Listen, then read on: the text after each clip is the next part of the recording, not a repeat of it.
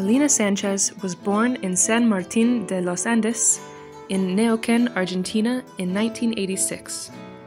She was all love, all contagious happiness since she was born, and was always searching for freedom.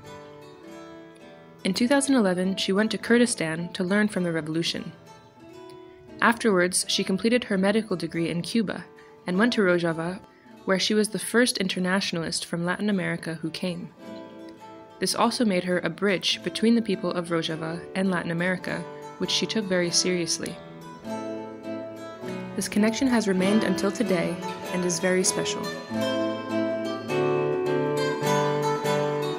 Heval Legerin especially dedicated herself to contribute to the establishment of an alternative health system in Rojava, one which would be able to fulfill the needs of the society under the circumstances of war, displacement, and embargo.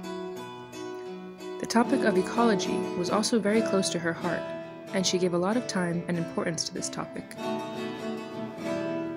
On March 17th, while she was on her way to a meeting with an organization in Hasake, she was in a car accident and lost her life.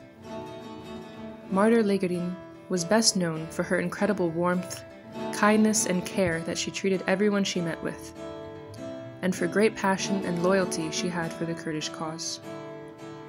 She did every task, big and small, with passion, no matter how difficult, which enabled her to approach her idea of a better society.